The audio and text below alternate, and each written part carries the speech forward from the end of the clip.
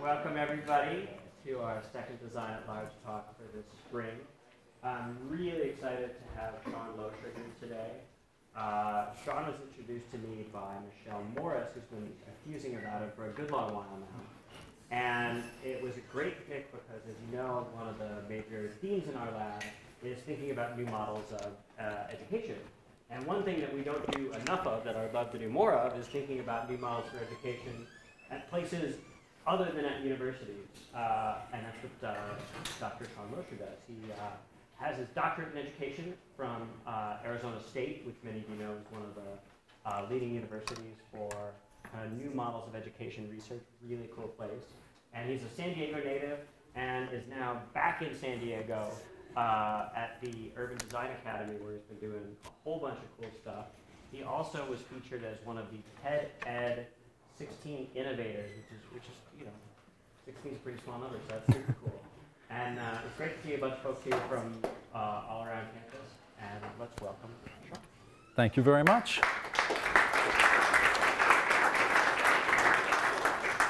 Well, thank you so much for having me. In addition to Arizona State University and several other places, uh, I consider UCSD one of my homes. Uh, UCSD, not only did I spend a great deal of time on campus, uh, as a San Diego native, but also uh, my teaching credentials and my supervision credentials and my admin credentials all came from UCSD. So I feel like uh, I was back home today, including having Tina take me over to the bookstore to pick up my Triton uh, swag. So for today, I, I, prepped out a bit by talking to several people. Uh, you may be one of those people sitting here in the room to talk about what it is we want to may perhaps engage in today. And really, I wanted to engage in a discussion about a lot of what we do at university, which is talking about the theory of how things work, but how it practically is being applied in the world. So that way we can have a, a dialogue about that. Now, because I work in K-12 education, I'm constantly getting updated. My students have made it so that way I have static QR codes. So that way if you want to follow me on LinkedIn, Twitter, or any of those things, those are available for you. We'll put them up later. This one down here for younger people, this is a website. It is an old-fashioned technology that we used before we had social networking. Uh, also, I do have a Facebook page, or as we call it, Instagram for old people page, uh, that you can find me on as well. So I want to open up by talking about just a simple design challenge for today in the room. And we're going to go through three design challenges. Two will be active in the room. One is a, design challenge I want to leave you with. And the design challenges in part also pertain to three assertions that I'm going to make today. You don't have to agree with my assertions, and you don't have to agree with my findings. That's the beauty of design thinking.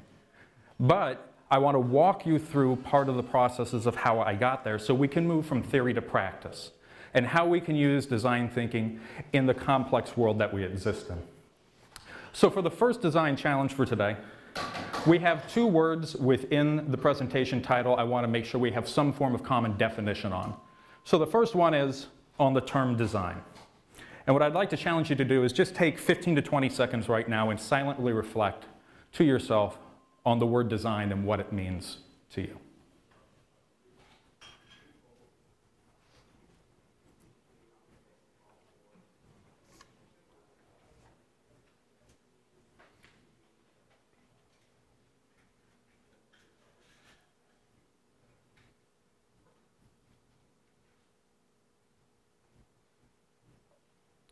Outstanding. 20 seconds of wonderful silence to reflect. What I want to invite you to do now is turn to somebody close to you, around you, and just share a few thoughts for 30 seconds on what are some of the key characteristics of design that are important to you. Let's just take 30 seconds to engage in that together.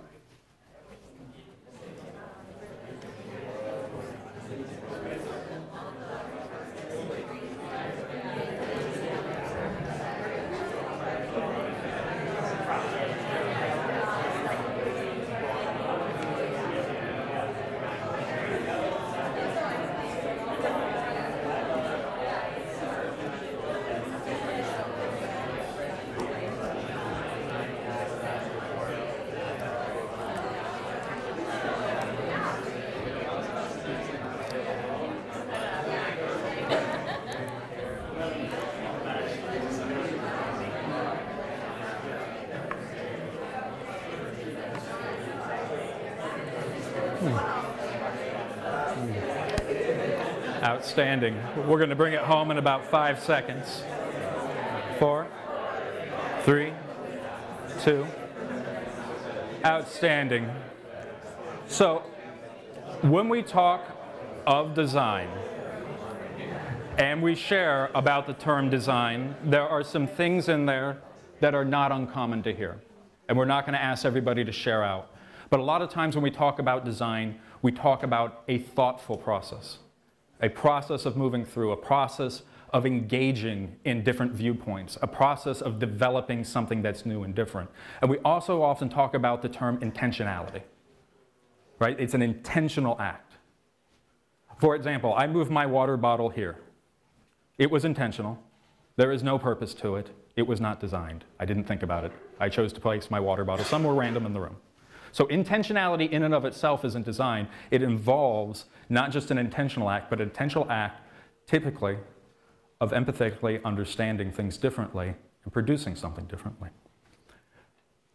The second term that's essential for us to understand before we engage in a theoretical conversation is the term development.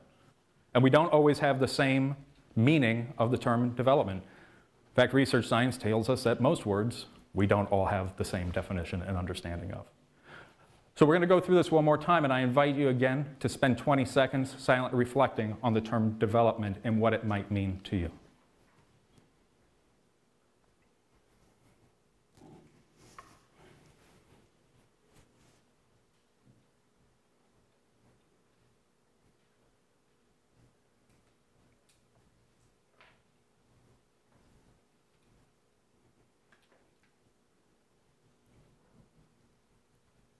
Outstanding. Once again, 20 seconds of wonderful silence.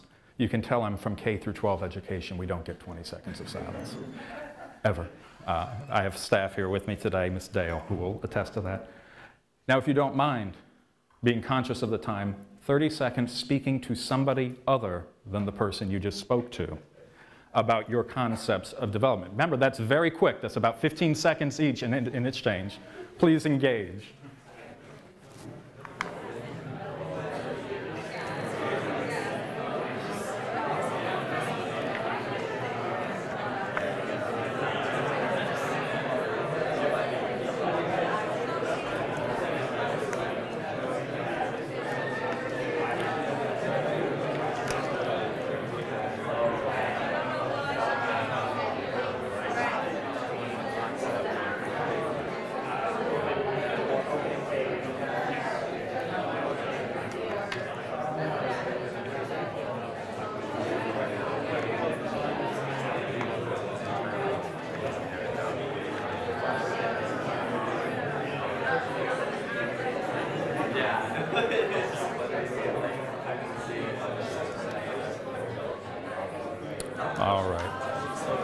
We've got about five seconds left of our 30 second stint. We're counting down to four, three, two, one. Thank you so much. Now, again, not asking for a share out at this juncture, but from most of our perspectives, many of us default to the idea of development as a good thing, a positive connotation. Depending upon where you sit in that development, you may have a different opinion. So that's a relational aspect to what we're talking about today. Because not everybody agrees with our concepts of design and design thinking as a positive connotation. And it is our responsibility to be empathetic to them as well as we engage in this.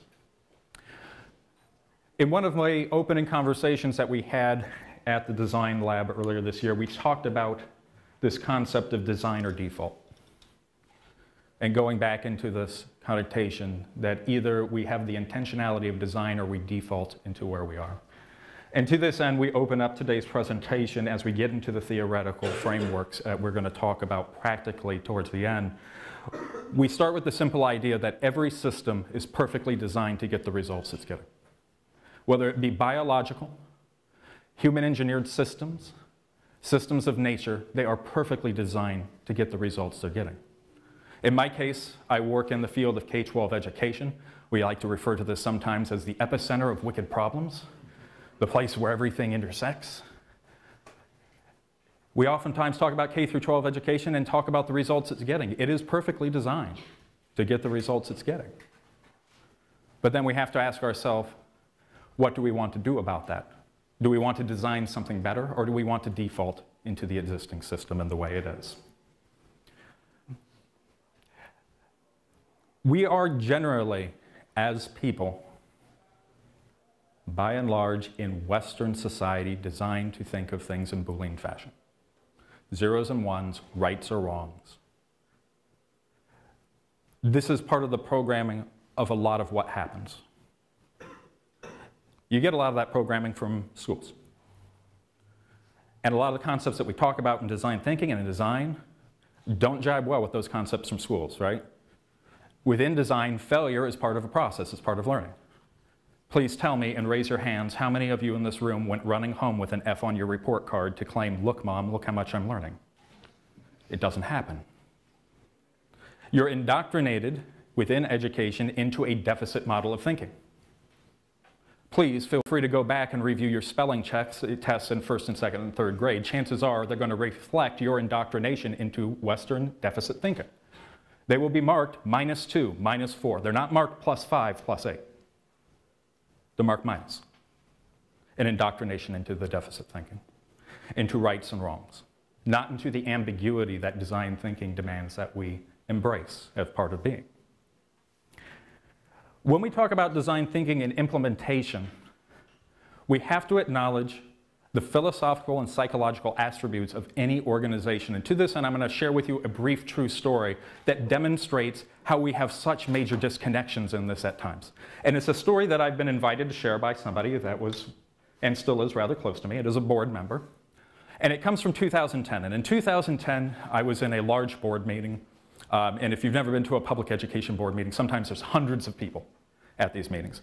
And I was at a board meeting, and at this board meeting, the Board of Trustees took a vote. And the vote was that from this day forward, from now on, all movements that will be adopted by the Board of Trustees will be grassroots movements. I was sitting in the third row and I began to laugh hysterically.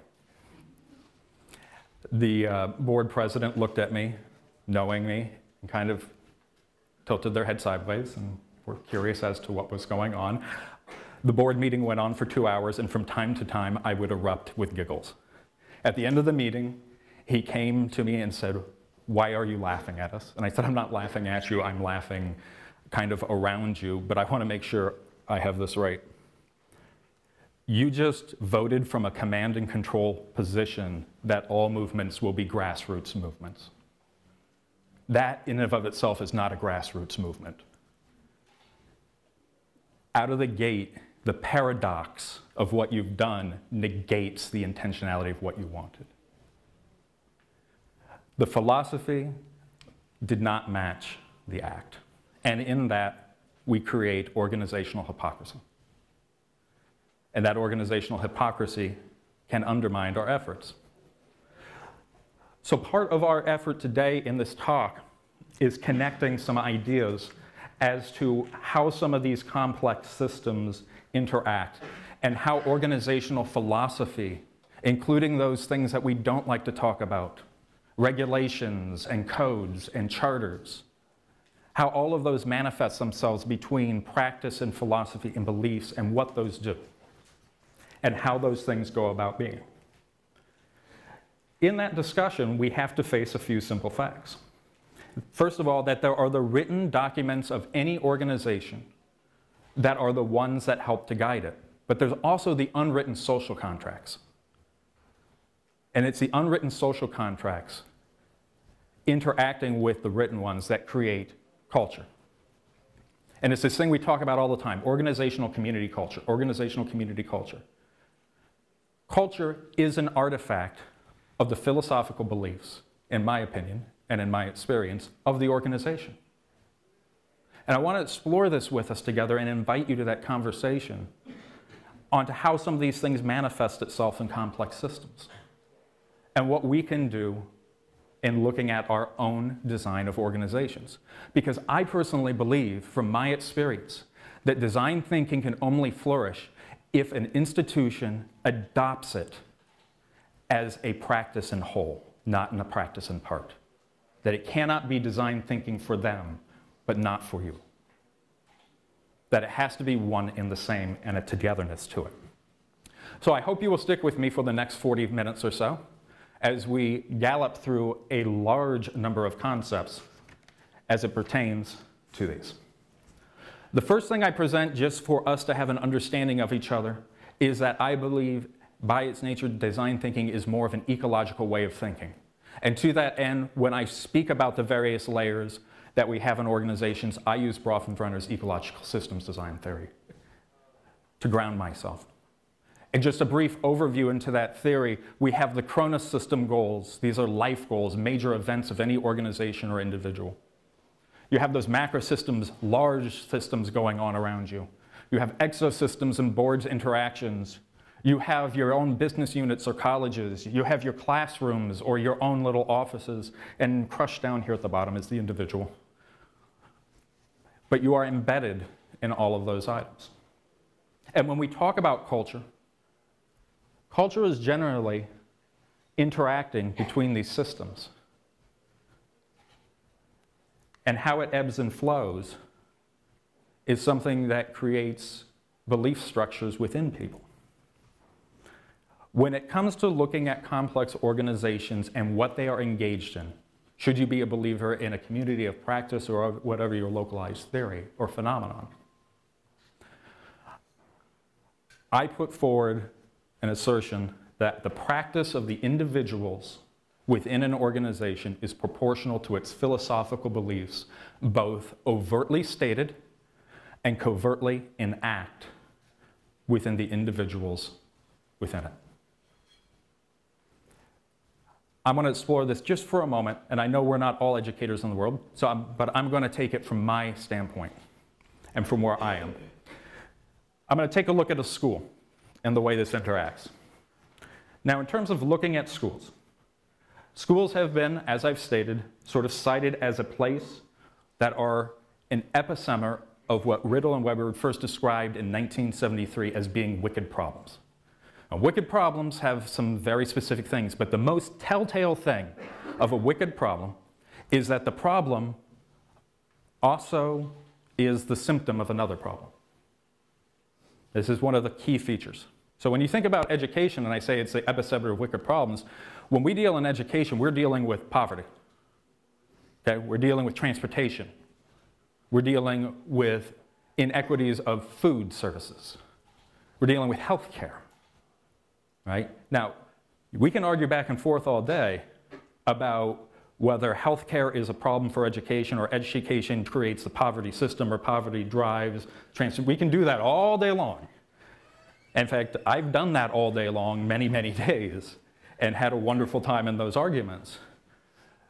But what Rittel and state to us, and Webber state to us, is that nearly every problem, if not wicked in and of itself, has a degree of what they call wickedity to it, which is an elastic scale. So I'm choosing education, first of all, because it's self serving to me, and I'll be honest about that, but also because it represents a complex social system that interacts in many different ways. So, an example of theory to practice. At the high level, when we talk at universities, we're talking about our ontology, epistemology, theoretical perspectives. We'll get there together. And that's a very lofty thought that typically most schools are not thinking of, right or wrong. When we get over to the school level, we're talking about educational philosophy. What do you believe educationally? By the way, everybody in education, we like to say we're all progressivists. Not true, but we love to say it. We'll demonstrate that shortly. We argue about the purpose of school. What is the school structure? What, who's leading the school? What are the subject studies? Those are, those are district and school level conversations that are ongoing.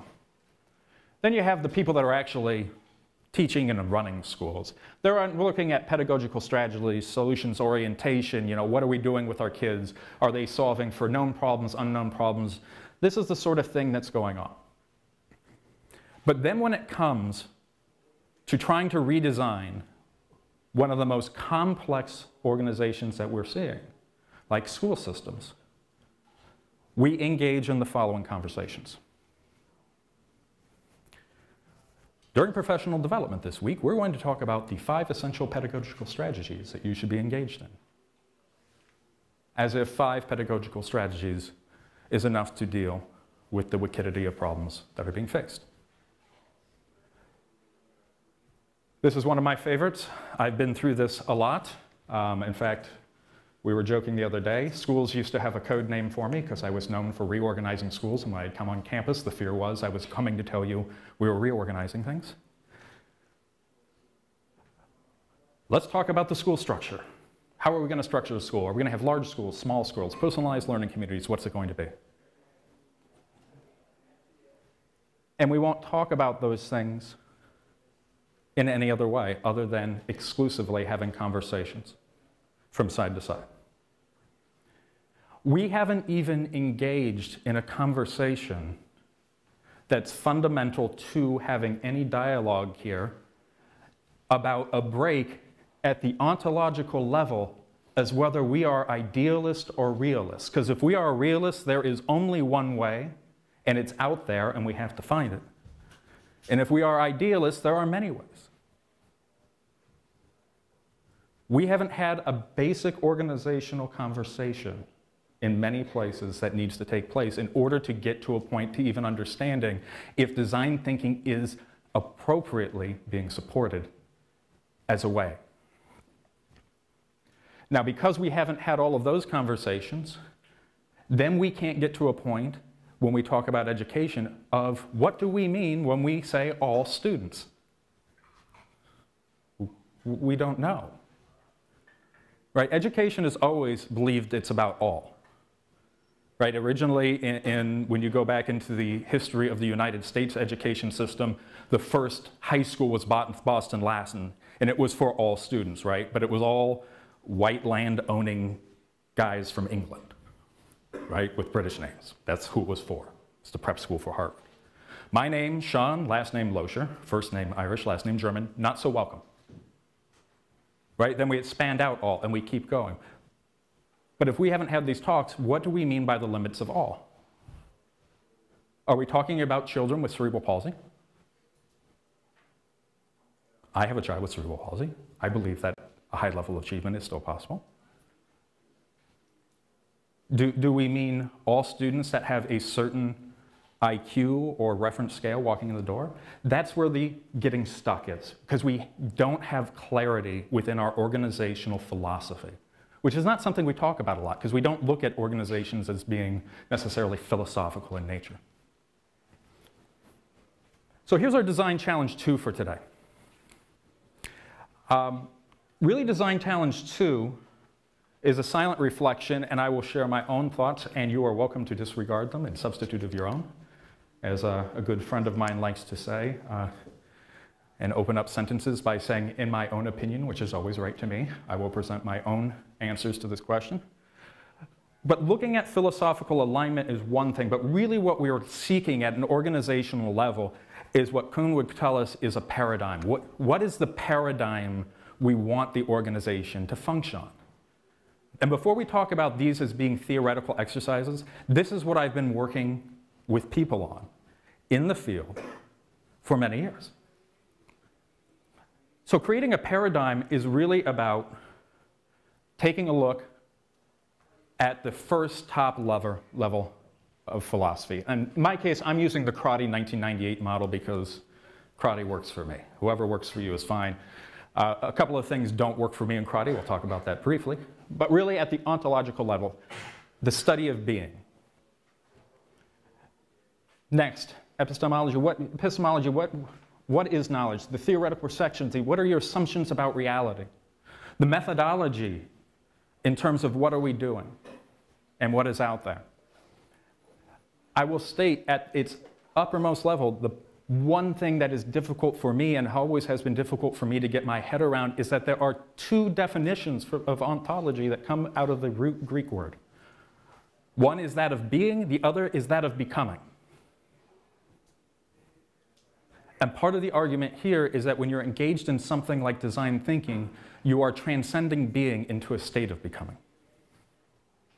And so, therefore, I have asserted the following that for design thinking, it's based in idealism, it adopts subjectivism, it is postmodernistic in nature. For those that are of that branch, I, I would even go further and say beyond Deleuze and postmodernism and a thousand past plateaus, moving into uh, Bauman's work on liquid modernity and looking at how highly fluid things are. And the part where I've always gotten stuck is then design thinking is thought as a methodology. And what I would assert is that when I work with people on this and we talk about we're adopting design thinking as, as this thing we are doing together at every level, when you look at idealism, subjectivism, postmodernism, design thinking in and of itself becomes a way of being. It's not a method, it's not just a disposition, it's a way of being in the world. There's no process, right? I mean, we talk about, you know, this is our own localized thing. We don't even call it a method locally. We'll talk about that, that we call an approach. Because, right, it's not steps. It's not like we're done connecting and empathizing, yay, move on to step two. It's not the way it works. We continue in that at all points. Uh, many of our lessons I will share that we work with on students, um, we don't actually end up empathizing until we end up figuring out we're asking the wrong question altogether. And that begins oftentimes our process of empathy. So, what I'm asserting here is that while design thinking has certain characteristics, yes, it's empathetic and human centered. I will argue even human centered. Perhaps we should be thinking about user centered as one of the many users of the planet. It embraces that ambigu ambiguity. It is reflexive. It involves visualization. We've talked about these things. I really tend to refer to it as a way of being that's within that paradigm. So it changes our thinking as to where we're going with it. So looking at that as a way of looking at the theory behind it and knowing that this is what has been being engaged in in conversations. And I got to share with you, hard conversations. I'm also going to share with you, I, I, am extraordinarily fortunate to be working with some people that I'm working with right now that embrace getting challenged in the boardroom. That is not normal in a boardroom setting. When we talk about these things, you're talking about your core beliefs about reality. And that can be very difficult. So, moving beyond that conversation and rolling it out into practical application, we're really talking about are you prepared to articulate your vision of design thinking? By nature, what I've just said is incorrect. It cannot be your, it has to be collective. Hard to leave it a collective. It's about asking the right questions at the right time. Is your organization prepared to make design thinking as part of its mission? Do your values that you state, we're not even getting to the ones yet of what is actually being manifested in the workplace, right? Because we all know people that say one thing and do another right? We know the organizations we work with that say we have a high level of transparency. There's nothing published. Do you have the values to support design thinking? Do you have guiding principles that you're working on that help frame design thinking within your workplace? Do you have an approach? And I mean, feel free to take ideas framework off the shelf, but do you own that? Or are you working through it and developing your own thinking and becoming evolutionary in nature and exploring how it might work for you? This particular approach works for us right now. Can't tell you if it will work in five years. When you look at design thinking implementation, whether it be in design labs, and that's great, and you can look at it at schools. That's great. It's being adopted in places in the US Navy. You can go down to the USS Bonhomme Richard down in the dry docks right now and its captain and their crew work on design thinking. And they have a three step process, and I asked the captain why. Why three steps? He said, because we, we have to be really fast at sea, so we need to be able to expedite things through, but we go through a design thinking process. So in practice, you start with that sort of framework and you have those conversations, and you have to have the courage to talk about it openly and honestly. And you have to have the willingness and the empathetic resolve to hear people that don't believe you, that believe that the existing system, the default that's in place that we will go to, is in fact what would be best.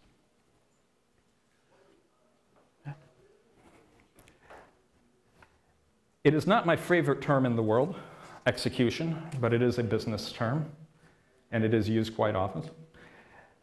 But how do you turn the frameworks and the philosophies into something that can become operational?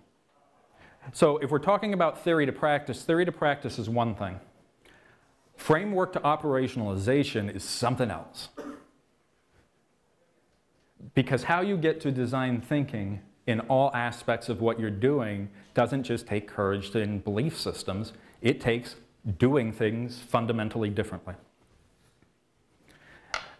Now, I want to be really clear about this when we talk about things like schools, because I've been extraordinarily unclear about it in the past. When I talk about urban discovery schools or any number of the schools I've worked in, and I talk about design thinking implementation, design thinking implementation is not something that teachers are doing in the classroom to work with students while everybody else is doing something else. Design thinking is being used by the custodial crew. Design thinking is part of our human resource development plan. Design thinking is how we look at front office and back office operations. Design thinking is how we go about looking at everything from how we cut checks, our, pay, our contract process, how we interact with others. It is everywhere. It's part of what we do all, of, all over the organization. It's not something isolated as, welcome to Urban Discovery Schools, here's what we're doing here. The innovation unit is located over here, they're doing design thinking. Everybody else is doing teaching and learning in the 19th century model. That's not the way we, we operate. We do it at every level within the organization, including as the chief executive officer, my not making critical decisions at times, even ones that require timeliness and expediency, and stopping myself and saying, Am I engaged in an organizational hypocrisy in doing what I'm about ready to do if I have not stopped and went through a process of even asking if we're asking the right question right now? Or if we're just trying to get through an immediate problem and taking that step back. It means that I do not direct teacher interactions. They have their own academic councils and interact and let me know their findings. It means that operational staff identify some of the critical problems that we're getting through. It means that across the ecosystem, people are involved. At our schools, students are involved in developing curriculum, and parents and teachers. The expertise of the teacher is not negated, it is augmented. It is augmented by the expertise of those that have the user experience.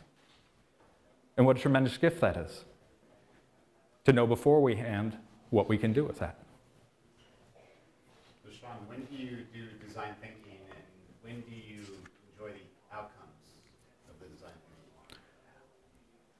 we get to a point in prototyping where we agree to a test. And within the test, it goes through what we would normally define in academia as an action research cycle of looking at what is out there. But we acknowledge the following it can always be better. So, if we're talking about units of study, we have teachers that at the end of the unit deconstruct with students what went well, what didn't go well and by that, I mean students that did well on the unit, students that did not engage and normally would do well, and students that tuned out entirely. So it's not a one off thing, it is an ongoing thing. We move the needle and continue to move the needle. And we acknowledge that we are not perfect, but it does not excuse us from seeking perfection. but our understanding of perfection and what's next evolves.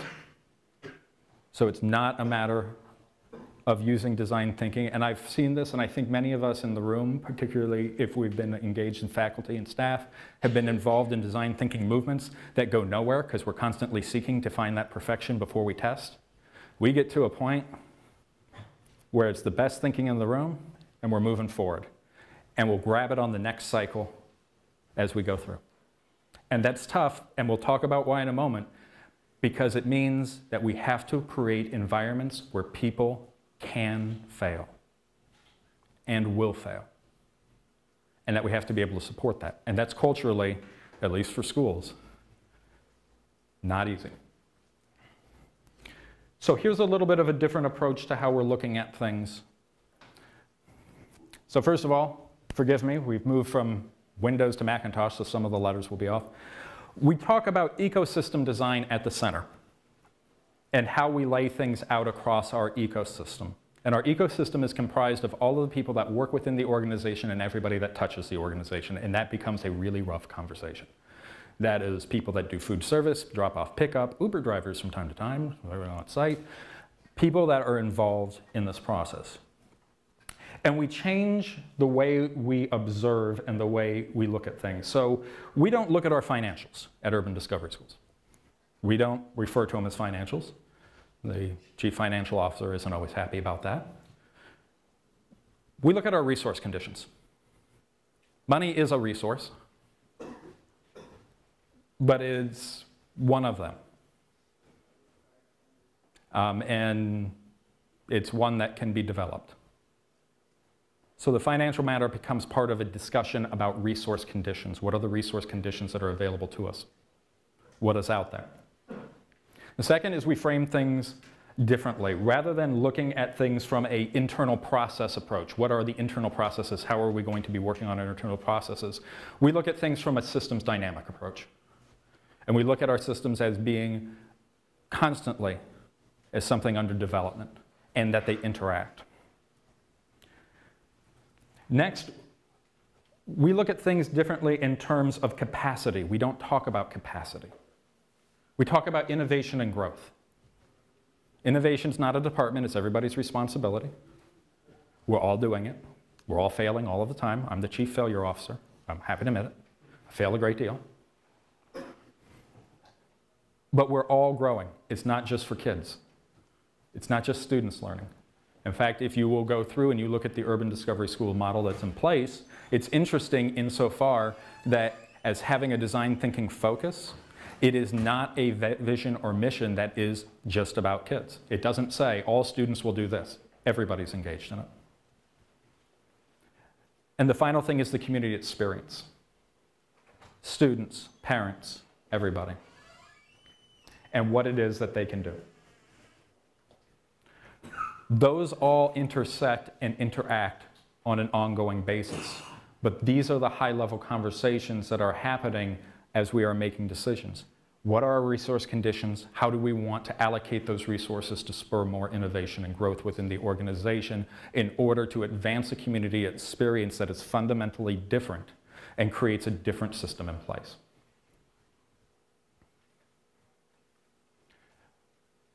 In practice, in day-to-day actions, it requires fundamental changes across the board. Some of these fundamental changes are how do we go about treating people? I know this sounds system, very simple. How do we treat people? How do we approach it? Do we assume positive intent? When we hear a parent yelling at us, do we assume that they're angry or they assume that they love their child and they're upset about an outcome?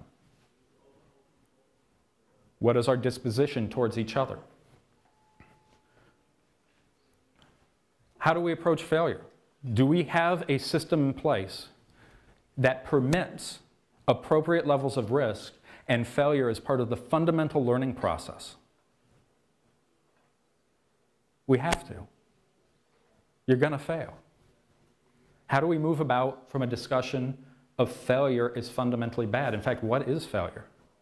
The only failure that is not permitted within the organizations I'm working with is a failure to try. a failure to reach for something new. That's the only one not tolerated. Anything else, we're going to learn along the way. How do we go about evaluating performance? We fundamentally have a different human resource system. Nobody in our organization will be released for trying new innovative practices that we have gone through a design thinking process for and tries it and fails in it. You are expected to present your failures to the team, share what we've learned from them. Don't want to make that mistake again. Applications, perhaps, of what you went through to a different subject area or different matter and how it can be done. Again, not socialized norms in most organizations. How do we go about inspiring that growth, whether it be for parents and students or the people that are teaching in our schools or the front office or back office staff? Do we, do we find ourselves bold enough and courageous enough to talk about creating a better tomorrow? Not because it's convenient to say, but because we truly believe that the best days are ahead. And how do we go about demonstrating our values? It's very simple to say we're transparent. It's very simple to say that we value courage. But how do we go about demonstrating that on a daily basis? What is it that we do in order to demonstrate that to the individuals with, that we're working with? And finally, how do we articulate results? Do we articulate results in one way or many ways? Because if we choose to articulate results only through one metric lens, then again, we're engaged in a Hippocratic, uh, Hippocratic act where we are not, in fact, going through a process of saying we want you to look at many measures and many ways of understanding and knowing. So we opened up with a statement. Every system. And I truly believe that. It's one of the reasons why many organizations have troubles making transformations. It's perfectly designed to get the results it's getting. It doesn't understand that the results it's getting will soon be outdated or invalid. It sees no reason to change. It does not. The change comes over the top quickly. It can't adapt on that level, on that rate. It's not engaged in a practice of being able to redesign, and therefore, it no longer exists. So if every system is perfectly designed to get the result it's getting, I'm going to leave you today with design challenge number three.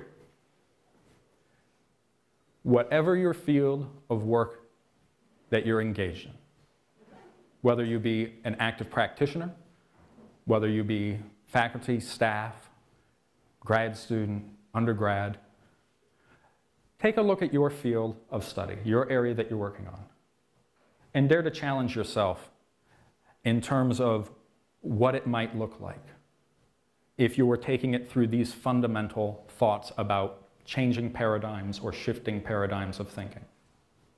If you look at your area and expertise and examine it for its own wickedity and how it connects to other things. And then make a conscious decision that you choose to make yourself how do you choose to see that problem? Do you choose to see it from an aspect of there's only one right way somewhere out there? Or might there be many options that can be found? Do you choose to look at it in terms of that original Boolean thinking of right or wrong, or a little more colorful way? Or do you choose to take it off the chart and acknowledge that really there's an entire spectrum of thinking you might not have ever explored, and that if you get more people around and explore their points of view, you might see it differently. Or perhaps if you explored it from a point of view that somebody is not human, might see it. In terms of what biology teaches us in biomimicry and design, or looking beyond those fields. What options might that open up? I think if you will take on that challenge in your own time and in your own way, you will find that you come to a similar conclusion that practice then becomes proportional to the philosophical beliefs that we expunge ourselves and within our organization. To that end, I want to thank you so much for being invited to speak today, uh, and to the continued partnership of the UC Design Lab and to UC San Diego for their outstanding leadership in our community.